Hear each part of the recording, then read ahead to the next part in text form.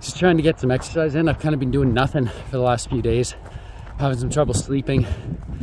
I feel this might be a good reset to just run the body through some some work and then uh, you know use that to clear the mind a little bit. I am in Calgary until at least March 5th, probably March 6th, and uh, yeah, I'm just gonna make the most of the time while I'm here. We'll uh, see what I can do about designing that next high banker that I'd be using this summer. So we'll get back to the garage after this and uh, see what we can come up with. In this video, I kind of just want to get into the weeds and go into all the fine details of high banker design. So I'm not talking big picture stuff, but just if you were to zoom in on this and say, why is the hopper a certain way? How should your spray bar be set up? What's the advantage of setting it up this way versus that way? How big should it be? Should you go with a carry-in unit or a cart? Um, these things are all going to kind of interdepend on you know what you choose for size is going to choose whether or not you need a cart or if you can carry it in. Where is a cart going to be useful? Where is a cart not going to be useful? Uh, going to go into the details about the legs. So I designed a set of legs that I think has some distinct advantages over what I was using before. Um, just go into my thought process there. Uh, briefly, I'll talk about what type of mat I'm using and why, what my experience has been with different mats, although that's my least favorite uh, subject. But essentially, I just I want to talk about all of the thought process that goes into building a high banker that I am going to be basically building the new version of this. I think I'll call it the Utmost Adventurer. I've got a bunch of these uh, Utmost Explorers sort of in process here. They'll be up on the website soon. But uh, yeah, so let's just go through that process. If you are new here, I'm gonna put chapters down below so you can skip to a specific part that you might be interested in. And if you got value out of that little chapter and you wanna go back and listen to the whole thing, it might be worth watching this start to finish because talking about one subject's probably going to be, you know, related to another subject. So right off the bat here, just sort of my thought process on designing a high banker like this. Um, there was a time when I, I just realized that amongst my social circle, I was the gold mining guy. I, I was the guy who knew the most about high bankers and I'd read all the websites. And um, when, when you are the most knowledgeable person in the room, you're not learning anymore. You're not going to figure anything out. So I, I, make a specific effort to try to approach everything with a beginner's mindset. If I see somebody out at the river and they're using a box and they're just starting out, it's sort of, you know, cobbled together. There's all these little different things they've done. I guarantee you one of those little things that they've done is something I haven't thought of. I'm going to learn from them.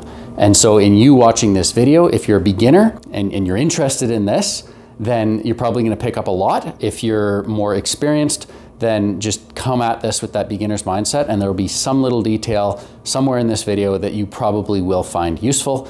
And of course, if you're not interested in high banker design, this will probably just come across as a bunch of verbal diarrhea and might not be that you know fun adventure video that you're used to. You can just skip it, go to the next one.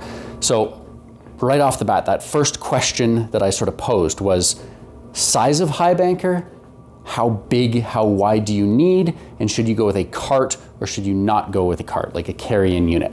Um, obviously, if you choose that you want a large enough high banker, that sort of means that you're stuck with a cart. There's, there's no option to get around that. But one thing that I noticed is with this beach box, this is a 24 inch wide, about five foot long box. It's awesome, super easy to carry around on sort of Alberta's lazy gravel bars. But if you get into those really big, heavy boulders that you'd see out in you know the Fraser River, or you're going on an animal trail, there's trees you're bumping into, a cart just isn't practicable. And so that's where if you can get away with a smaller box like this, my goal in designing the next high banker is I want to emphasize lightweight transportability. So what I'm building is something for myself. I can't put myself in everybody's situation, in everybody's shoes and say this is the best high banker for your situation. So I'm thinking about what I want to use it for and I typically found that the cart is good in Alberta, but when I have a boat to access a gravel bar, I can just carry this in just fine. And I want to make this more compact, but still have the same gold recovery so that it's easier to hike into locations out in British Columbia, just for my own personal use. I'm Gonna set that down here for now because I don't really know what I'm doing with my hands. Um, the rough top conveyor belt that I, I used in this, you had to use it like an, any fine textured mat. So whether you're using like indoor outdoor carpet, like an AstroTurf, um, moss without expanded on top, you're gonna want very little water flow, just enough to move the material off the surface. And in, in doing so, it's not gonna process a ton of material. So you're gonna see that little line of black sand forming like a bit of a wave as it's going down the sluice, and you gotta feed it a little bit slower. Um, with the miner's moss that I'm using now, I, I, did notice that it's able to keep up with about the same feed rate as this sluice. So 24 inches wide here, 12 inches wide here, two different mats. This is able to keep up in terms of feed rate. So that's something to consider. Obviously you could put miner's moss in a beach box like this, or at one point I had a double level setup in this so that this box gave you the same recovery as this box just by splitting the flow into one sitting right on top of the other. That had a few issues that um, maybe I'll, I'll, get into later on in this video, or that might even be a future video depending how, on how long this video is.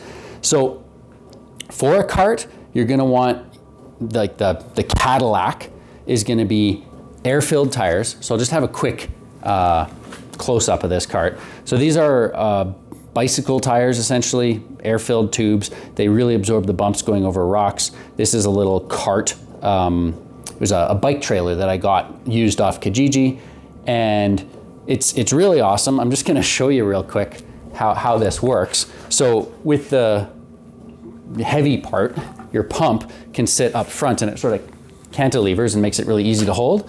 But there's just a little clip under here and then you slide your wheel out and it's easy to slide it in the back of your car, your pickup truck, whatever it is. Then you just slip that thing back on, set her down. Your motor goes inside, and then because that has some weight to it, the back of this thing is like super easy. It just rolls around like nothing. You can throw all your gear in here. Super convenient. Why would anyone ever use anything else, right? Now, I didn't have too much of an issue using this. Like for example, if you go to Devon, Alberta, go to Perfect Pizza, get yourself a nice big pizza, head to the north side of the river, park, and you're at Prospector's Point. Any time of year when there's gravel available, you'll find gold there.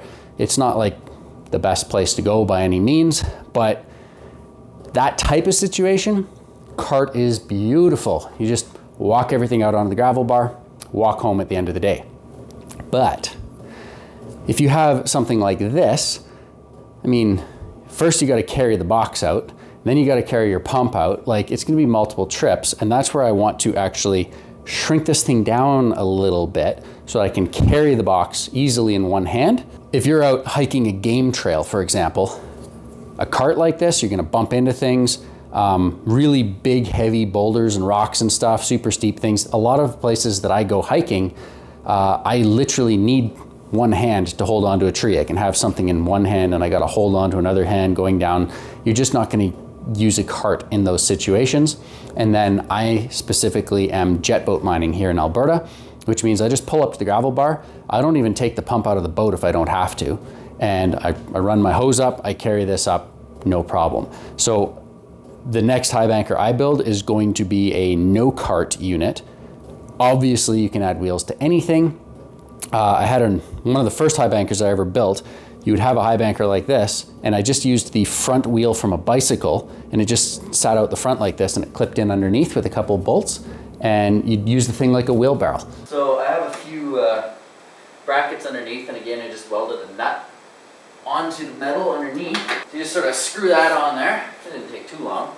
And you could technically run the sluice with that there, keep clearing out underneath and stuff, but you know, for your cleanup, put a tray down there, it'll kind of get in the way, so figure just take it off. But you just lift her up, your whole thing goes like a wheelbarrow. You drive it around and... There's always options to cartify a non specific cart like this. But as far as the width is concerned, I've determined that with this 12 inch wide Miner's Moss and expanded, um, four shovels per minute seems to work pretty well. Five shovels per minute is pretty good as well. You get to that six shovels a minute if they're big sandy shovels, and this really depends on your situation. If you're dealing with uh, sandy material, one shovel goes in here, maybe three quarters of that shovel goes through your screen and into the box. Whereas in other areas, there might not be a lot of sand and it's all bigger gravel. So you put that shovel in and three quarters of that shovel goes right into tailings, your box only has to deal with 25% of it. So feed rate is going to depend on location, but the only time you'd really need a wider box is if you've got that nice loose gravel that's easy to shovel, high sand content, and you can really move material. It's pretty easy to say once every 12 seconds, five shovels a minute, steady state, um, pretty much like it's close to that yard an hour and a 12 inch box will keep up with that. If I had my ideal setup, there's times when I want to shovel a little bit quicker. I'd say an 18 inch wide box of this miner's moss is going to be a good number, but I don't think that I would want to do it unless I was going to go with a cart like this. So what I'm probably going to do is I'm going to have a box that's in that 12 inch wide range and then have a way of doubling that up either with an extension or a piece that's built inside. We'll talk about that in the future, where you can actually take that 12 inch box and turn it into a 24 inch box or a 10 inch box into a 20 inch box, um, just to get a little bit more out of this form factor. So the next question is length. How long should your sluice be? And there's a lot of different ways about going about this, different solutions. Um, basically, having a longer box lets you get away with either an imperfect setup or, or sort of not ideal conditions for the gold that you're capturing. So if you have a, a sluice mat that's maybe holding on to about 25%, or sorry, holding on to about 75% of what you're putting into it and losing 25% in a three foot run. So that's, that's the results I was getting with my Dream Mat mini mat. Uh, so this stuff right here, um, I have a three foot long sheet for this and that was about what I was getting is you lose 25% in a three foot box. But you can get around that because your hopper could have some recovery. So if your hopper, like let's say you throw 10 grams of gold at this box, if your hopper pulls out three grams, then you're only gonna lose 25% of seven grams, not 25% of the full 10 grams. So you're going to be doing better. And if you have this box, let's say it's a four foot long box, and right at the top, you've got like some miner's moss with a, some sort of a punch plate or something on top of it for a foot, that's going to act as a bit of a buffer to hold onto the black sands and let them bleed into the mat a little bit better, but it's also going to capture a large percentage of your gold. And then again, your, your main mat is going to have less total gold to lose in the first place. Obviously, if you were to make your box six feet long, if the first box captures 75% of the gold, or the first three feet captures 75% of the gold, and then the next part of the box is going to probably capture about 75% of what was lost. So that's going to bring your total percentage up to something that's quite acceptable. But can you also say, you're losing that much because you're overfeeding the mat. So with the with the Dream Mat, for example, if I were to run it pretty slow to where I was holding on to gold and it wasn't just uh, scalping out if I walked away for two minutes, um, it was having a hard time keeping up with my regular shoveling feed rate. So you're going to lose a lot of gold because it basically just hides all the riffles. You've got a big sandbar in there, and you know, it's not very effective. So you turn up the water flow, give it a little bit more slope, and now those cells are active, or your miner's moss is active, or whatever mat you have is actually exchanging out and exposing the riffles and holding on to what you're feeding it because it's not being overfed now that it has enough water flow. But then you walk away and it sort of scalps out and you know it's too aggressive uh, for this fine, flat, flaky gold. So if you were to have just a longer box, yeah, it's going to help, but you're not giving it the ideal conditions in the first place. Could you have a box that's twice as wide? So should you go with a two foot wide box that's three feet long or a one foot wide box that's six feet long. And, and that's kind of a, a tough balance to, to figure out. How's the geometry work? Where do you really want to go with that? But I would typically say if you are steady state shoveling more than that mat can handle, I don't care how long your box is, that gold's just going to keep working down the box, down the box, down the box. And with a real long tom like that, you're going to get to that point where it's like after a certain number of hours, the gold's just migrated down far enough in that box that it's time to do a cleanup. I personally don't like doing cleanups in the middle of the day. I'd rather just start at the beginning of the day, work to the end of the day, and then do a cleanup each night. And to do that, you need a box that's wide enough to keep up with your feed rate. Now, if you are running in Alberta, this fine, flaky, super flat gold, especially in a, a beach box like this, where that water's just super, super slow over the sluice, what's interesting is the time it takes for the water to go from the top of your sluice to the bottom of a three foot sluice might actually be similar to the time it takes to go down a six foot long sluice with a more aggressive water flow. So even though your sluice is, you know, three or four feet long, if you're running it real, real relaxed, um, you're actually like the time that the gold is in there to be captured is the same as a longer sluice. And so you can get away with a shorter sluice. And so long as it's wide enough to keep up with that feed rate, then you're not going to have any issues. Another thing you want to do for that is prevent the surge. So every time you throw a shovel in, there's a ton of material. It just fills up a portion of your mat and then it slowly bleeds off the top while you're off getting your next shovel. That's where having some sort of recovery in the hopper can really help because all of the lights just get washed off the hopper down the sluice. And then as you're getting your next shovel, the black sand and the gold is lingering in there some of it's getting caught, but some of it is then feeding down into your primary recover down, recovery down here, and you're able to hold on to that. So, my opinion is I would rather have a like a mat that is wide enough to keep up with me, and then just find a point down the mat where you're no longer getting losses and say three feet's long enough or four feet is long enough. Um, personally, I think for the box that I'm going to build, well, I'd like to do a four foot box, there's two factors. One, my break is three feet. You can easily build a longer sluice with that three foot break, um, just, you know, multiple sections going together. And you could actually take advantage of that. So the top section would be a box and then it drops down about half an inch into the, the next section. So you can have two separate pieces of miner's moss and you can actually do a top box clean out really easily.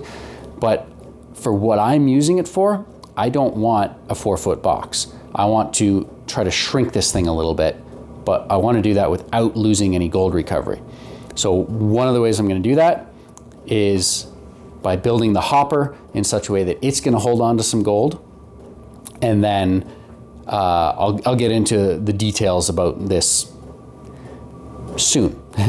First of all, let's talk about the actual shape of the hopper. So when I had this box set up here, um, I, I had a narrow hopper initially, and as I was shoveling in, if you ever missed, you'd, you'd miss the hopper and you'd put a rock straight into the sluice, and then this perfect setup you've got down here, rock's going to be sitting in here, and it's kind of just going to be forming a little island around it, scouring out gold as it rolls down. You don't want that. So I end like I like the narrow hopper because all of the water that you're putting into the full width of the sluice is in a narrow spot contained getting blasted, which is great.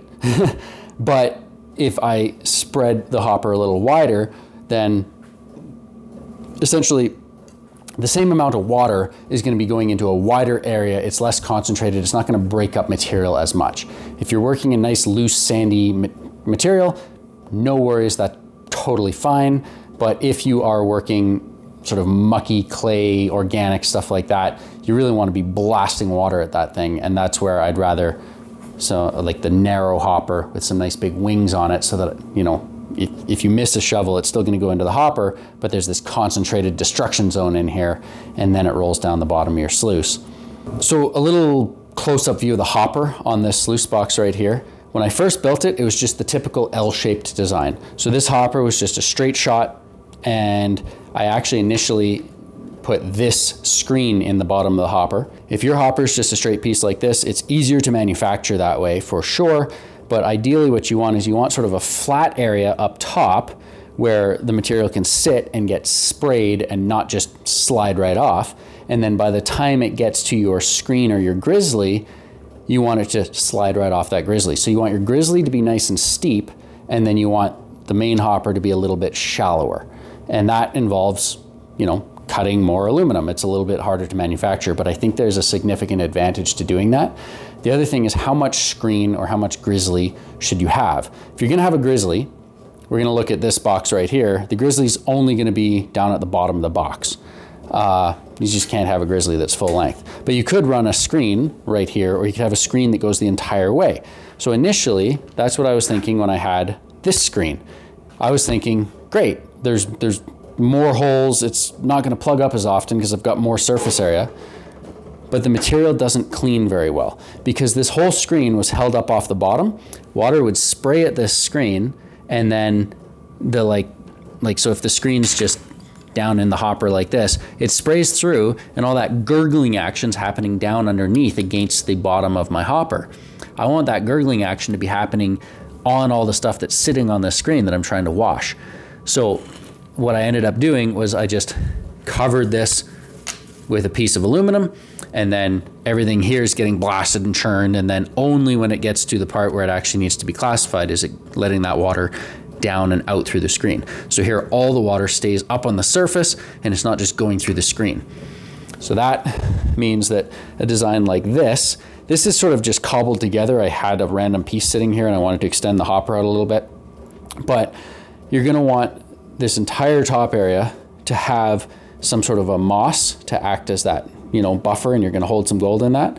And then at the bottom you have your grizzly. Now, the screen I'm using here worked really, really, really well. When you're dealing with grass, grass covers the screen, but you just take a brush and you brush the screen and it all comes off the screen just fine. I was using a grizzly because I decided that, well, hey, the grizzly is gonna let stuff off of that easier than a screen.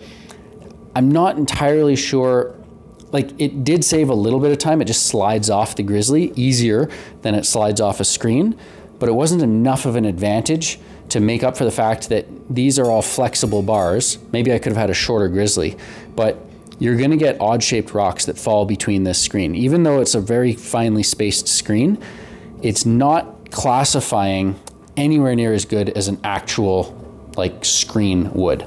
So for Alberta, when fine gold is the target and you're just, just after that fine flaky gold, I would argue that you go with a screen. Now the size of screen, uh, right here I've got two sizes of screen. I've got this stuff which is sturdier, it's stiffer, it holds its shape a little bit better. And then I've got this stuff which is a little bit weaker, needs more support, but finer holes.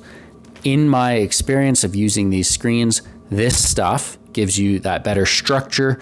I'd say better durability, but I have hit screens like this with a crazy amount of rocks and they're still going hard today. Um, but I, I would say that this size of screen, you're not losing any recovery going with a slightly bigger screen. The next thing to talk about here is going to be your spray bar. A lot of people, you will have a spray bar running down each side up here and the walls are typically lower. So it's a little bit easier to get in there with your hand because the, the side just ends down here instead of being this high. Um, those full side spray bars, they're, they're good. They get everything wet. They're better for um, softer digging gravel and sand. Uh, I wouldn't say they're better for that, but they work for that. Where they really fall apart is if you're throwing like grass with root balls and stuff in here and you need to break it apart or like nothing's really going to break apart pure clay, but that muddy, mucky, clay-y stuff, it's just, it's not really breaking it apart. So you got to get in there with your hand and, and clean everything up. The idea with this setup is it's blasting one solid straight stream that's going to actually cut through stuff like a bit of a laser beam and break apart clumps and really get into it. And that's why I like having this spraying up like this. This is a big churning, frothing mess.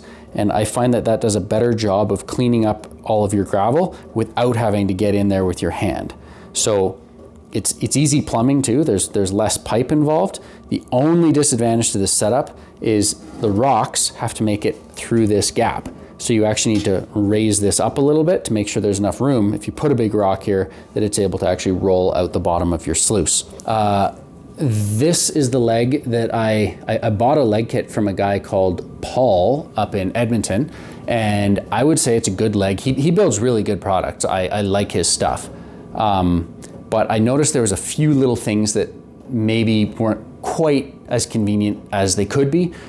First thing is because this is right tight to the side of the sluice here, in order to give it a little wider stance, it bends out at the bottom. And what that means, this might seem might seem hard to hard to uh, follow what I'm saying here, but when I want to take this thing down for transport, I want I want the legs.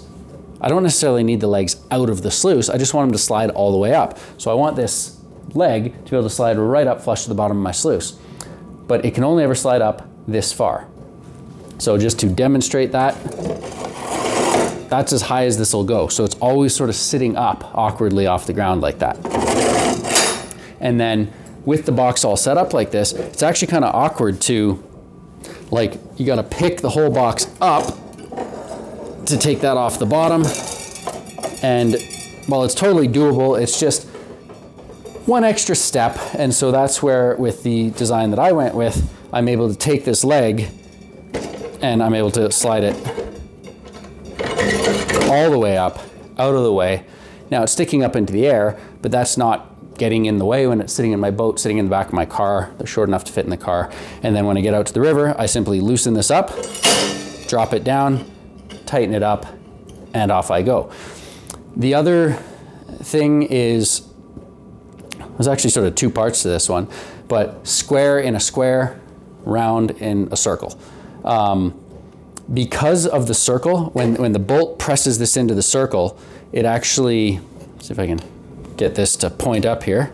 Because this is like a circle in a circle design, it's sort of like a saddle. So the circle centers itself in that saddle and it you don't, you don't have to tighten it that much for it to sort of lock into the saddle at the top and the bottom.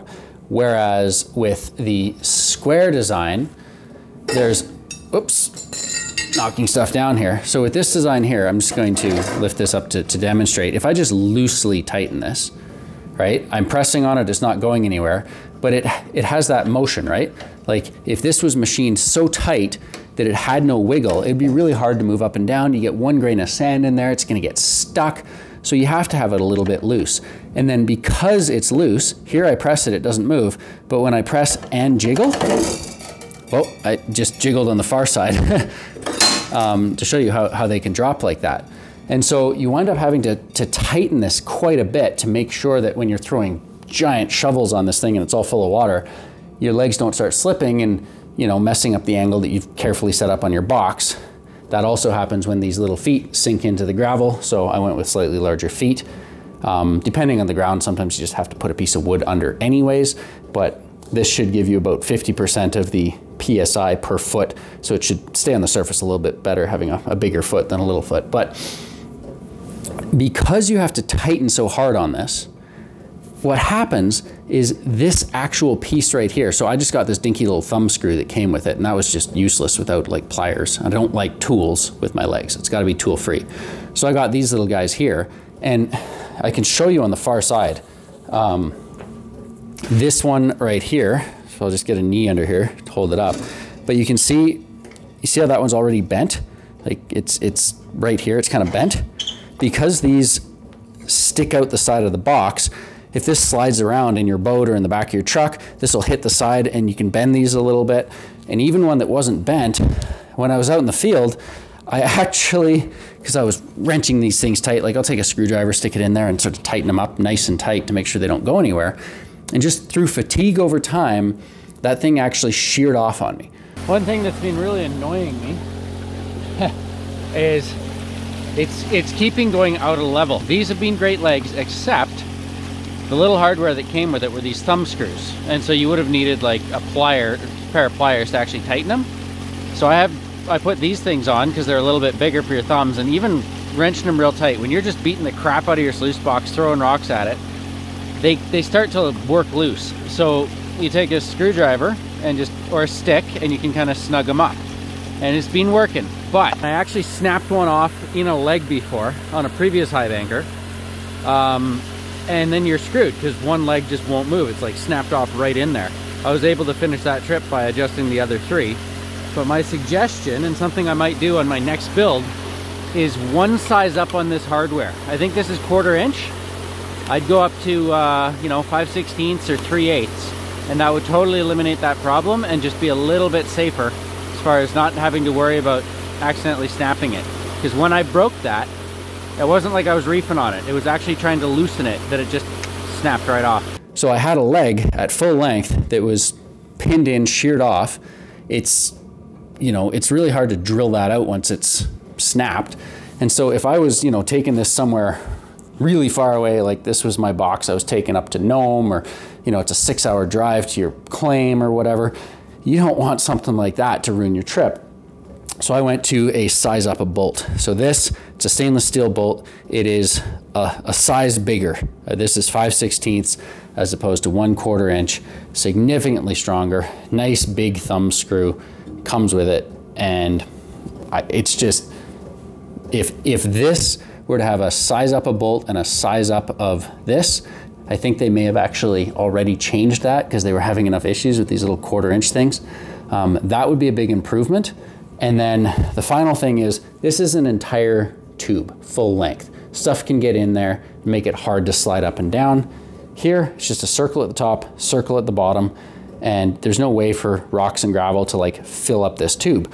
So if I go over here, this was one of my first prototypes. Um, just do it like this. So it's this really nicely precise fit in here but you know, it's a little bit tight, right? Like it's, if you got a little bit of sand, a little bit of dirt in there, you're gonna have a lot of issues. Lock it up, she's good and solid. And especially even, let me show you this box. This here was another one of my prototypes. So you've got a, a pretty big space around where the leg's gonna go. So if I just loosen that off, like it's, there's a lot of room there and it's really jiggly. And then because it's round and round, you lock it in and it's rock solid. But if you go out in the winter and you get a little bit of ice and water, like there's water involved, it's gonna fill this tube up and it's kind of gonna plug it up and you gotta bash it with a rock in order to, you know, get this thing to move again. Whereas you're not gonna have that issue when you've just got these two little wings. How strong is that stuff? It's crazy strong. That is 12 gauge. It's like significantly thicker than it needs to be. You can hop up, uh, like hop around in these boxes. So I'm just gonna, I know this is this has gone on way too long and I'm just rambling at this point. So if I have even posted this video, apologize for any of the rambling. Hopefully it was interesting. And again, any specific thing, if you have a comment, say it, I'll listen and I'll try to do a more polished version, maybe a specific video just about one thing at a time. But uh, just before we go, I'll show you, this is the, the Explorer. It's my little high banker that I've been working on. So I'll just set this camera down over there. Um, essentially, there's, there's a handle here.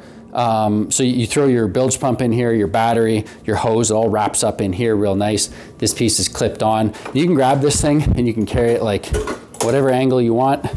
You know, it's, it's not going anywhere. And then basically when it's time to go into high banker mode, what you would do is you just pull this apart. This comes out, flip it upside down, and there's these little holes down here. Get those lined up, and now it's into the bottom. And again, you can literally lift the entire high banker just from that leg down here, any angle you want. It's held um, these are just shorter versions of the full-size leg, and you wanna know how strong they are. Like, it's gonna tear out of the side of this sluice before it does anything to this. And just to show you that it can be done, um, I wouldn't recommend you do this, but you basically just step inside the thing.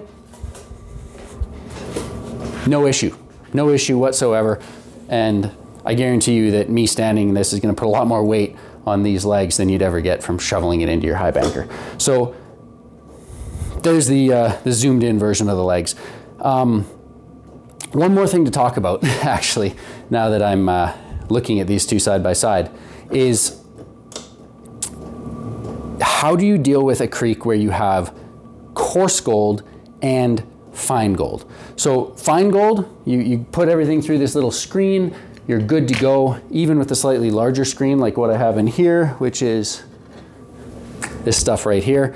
Um, if you have some larger pickers or stuff that could potentially slide over this, you see people, especially in Australia, excuse me, um, you, you, see people take this type of stuff and it's in their high banker and they'll run a metal detector over their tailings because everything that you shovel into the, the typical high banker, just it can slide off and you know, what if you missed a nugget? So if I'm carrying a little box like this, I don't want to have to carry a metal detector with me at the same time. Like the whole point is to be light, compact, you know, fast and light. And by putting this in here, you dump everything in here. Let's say there's a nugget in there. You're cleaning everything out. Everything sinks down to the bottom. You slide everything out. If the nugget's down at the bottom here, it's probably not going to move with your fingers. Um, this is actually a really nice smooth edge of the screen. Like you can run your fingers over there. You won't nick a glove or nick your fingers. And then you bring everything up here. You can look at it if you really want. So if you're cleaning bedrock and you're right in that bottom crevice, you want to be careful with that. You know, you can pull everything out onto here just to make sure. But your nugget's actually going to stay in here. So nuggets, coarse gold's going to stay in here. Fine gold, we have all the advantages of this nice screened, perfect flow rate. You know, my favorite current mat. I'm, I'm open to change, but the Miner's Moss is going to capture that fine gold really, really well. And you're getting both coarse and fine. The second you move into high banker mode like this, you either need some sort of a nugget trap in the hopper, which I'm going to be looking into, or you need to do a coarse screen or a, a grizzly, the big holes, and then a narrower, steeper, faster flowing sluice that's gonna deal with all the, that big material and capture any big nuggets.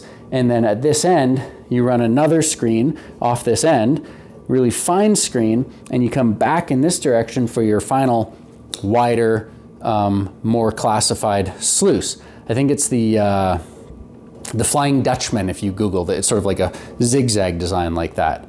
And that's a way where it's like, okay, I'm gonna make sure that my nuggets are in the first sluice, my fine gold's in the final sluice. But to do that, I mean, that just gets big. Like that's mini wash plant territory as opposed to something you can just hike into the bush two kilometers, no worries, right? Um, and so for a little bilge pump battery powered hike it around wherever you wanna go setup, this has a slight disadvantage that when you're in those perfect conditions of sandy gravel, everything's fine, you just dump it in, it slides off, you're good. Yeah, this is gonna be a little bit slower to process because you're gonna dump it into here and you're gonna have to clean it out.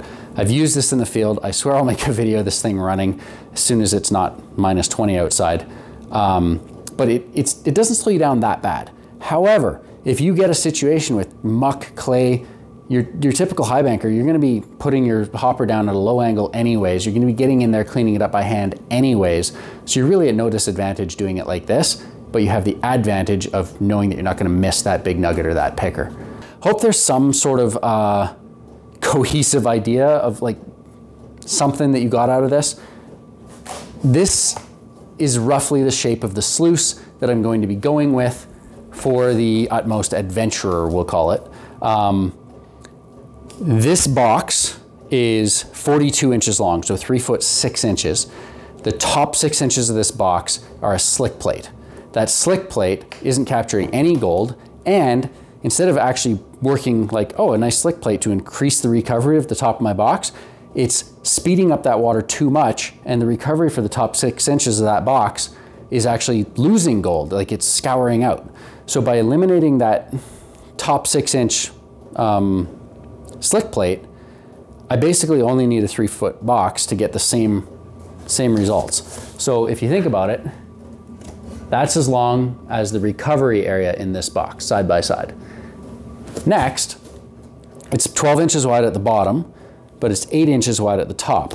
So if you had 20 gallons per minute running through this box, you'd be at a rate of 30 gallons per minute per foot at the eight inch mark up here.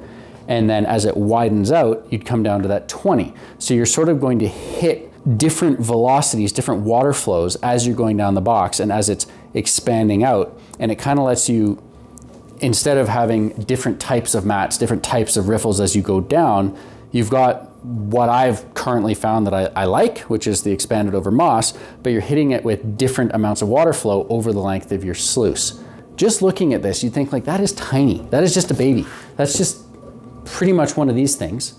Um, how the heck have I just made this seem like it's the same recovery as you get in there? Like it's, it's a pretty close shot.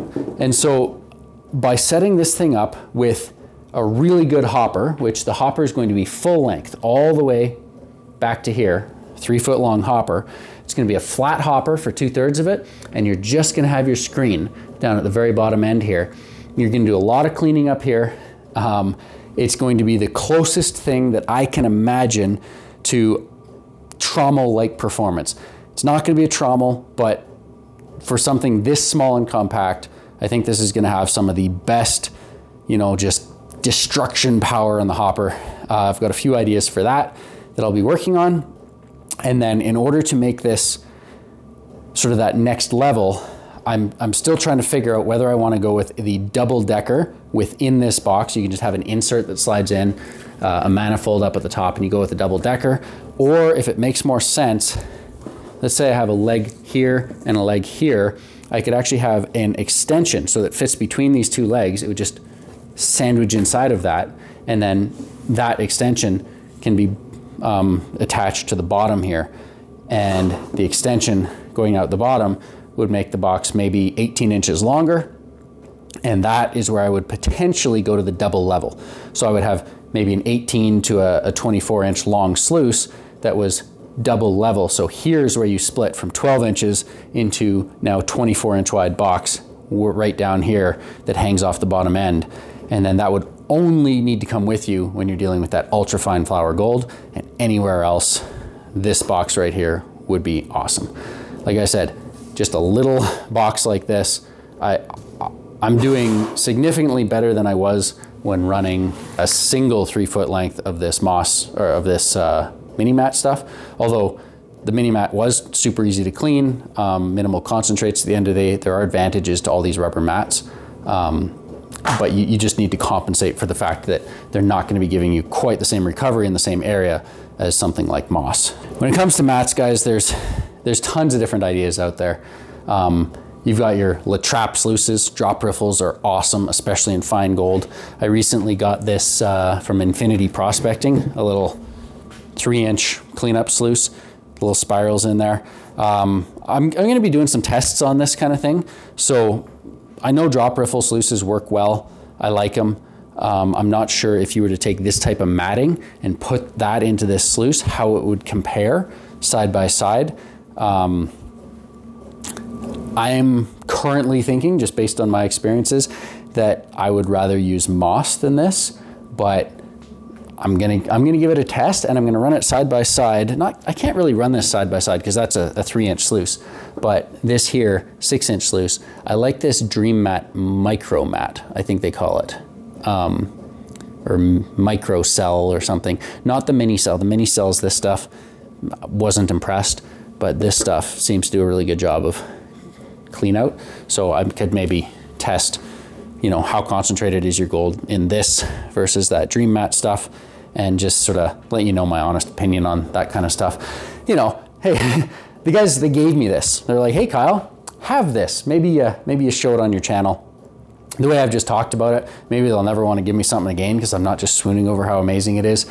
Um, I've just, I've never been really blown away with a lot of these rubber newfandangled swirly spiral mat things, but um, if, if I didn't have a cleanup sluice, this is going to bring your material down to almost nothing. Like just looking at it, I can tell you it's going to work uh, pretty good.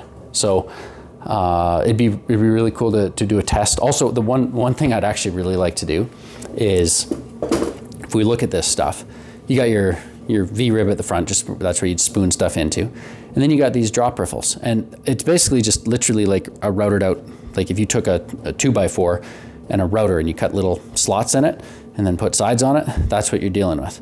And then you've got these little spirals that spiral down. And when you see this stuff running, you can actually see there's a little line of gold with black sand sort of down one side where it's sort of spiraling down. But is that just another drop riffle with a little fancy shape? Or um, is it is it doing something special? And I think a good way to test is I'll do a cleanup, I'll run some gold through here, and then just sort of prop it up like this so the water pools inside, take a snuffer bottle, and I'll snuffer all of these into one snuffer bottle, and then I'll snuffer everything out of here in another snuffer bottle. And we'll see, like, are these concentrating, like, do you get more gold to black sand ratio in these or in these? And do you get more gold total in these or in these? And if they're if, if these slots are actually winning, then yeah, this is clearly just marketing, you know, whatever. Which even if it is marketing, if the whole box as a whole works, then that's fine, right? But uh, yeah, I'm kind of curious how effective these are compared to just a regular drop riffle. Because I, I, was a little surprised to actually see these drop riffles. I thought it would just all be spirals, but I don't know, guys. Drop riffles are good. Miner's moss is good. Uh, a lot of different mats out there are going to work. Um, right now, just, just design philosophy wise, it's like I found a mat that works. I might as well um, go with it because I, I, know sort of what it can handle in terms of shovels per minute. I know that it handles surging quite well. I know that it's, despite it being miner's moss, it, it's still pretty easy to clean out. One final, I swear this is the final last bit of, holy crap, this is a long video. Sorry. Um, right here, there you go. The, the final step. This is what I'm using in my, uh, in my sluice. I've got a, a, supplier lined up down in the States where I, will order a giant roll of the stuff, but uh, it's a backed miner's moss and it's about 3 eighths of an inch thick. And the, this I actually haven't used yet. I've, I've been using, um, just show you, that's coarser. So I suspect this is gonna do better with the low water flow fine gold. Um, some people just run bare moss as well, but the people I've seen doing this that really know what they're doing, they do have a, a expanded metal on top. It just lets you run slightly slightly more water flow while still retaining your gold so you can run more yards per hour over the same surface area.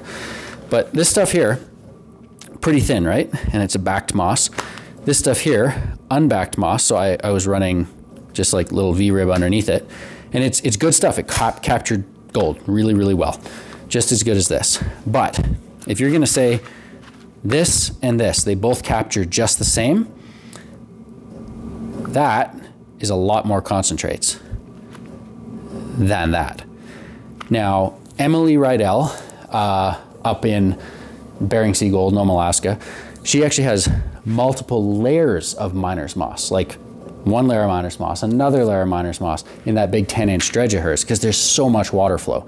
So the less water flow you have, the less deep into the moss you're going to get any of your material um, settling. So when I ran this stuff, you, you run your first shovel and all the blonde sands just fill it up. And then it's only the top 50% of it roughly that's actually exchanging out. So the top half is all black sand at the end of the day. And the bottom of the half is still just that blonde sand. It never even got moved. So if you're running really slow water flow, this is just gonna get you more concentrates. So this would blow out more gold if you were running your box really hot. But if you're not, if you're running it for that fine flour gold, it's it's just a better like less concentrates at the end of the day with all the same advantages of this stuff. That's all I know so far. um, my experience along the way, essentially. And uh, yeah. Don't use quarter inch hardware on your legs if you weld them up yourself. Buy my legs if you're going to buy legs. Uh, they're legit awesome. I'll, I'll do more videos of them later, but the design has conceptually it was good. Real world, they're amazing. Um, website will have more products up, updated, hopefully by the time this video comes out. And uh, yeah, lots of stuff going on in here. I'm gonna be working on turning this into a lightweight version of this that's just slightly improved in every way. And uh, that'll be coming out at some point. And uh, yeah, until sort of that first week of March, I'll be able to get back out again and prospect. More, more videos here in the garage, hopefully a lot more concise. Anyways, thanks for watching, everyone. And uh, yeah, see you in the next one.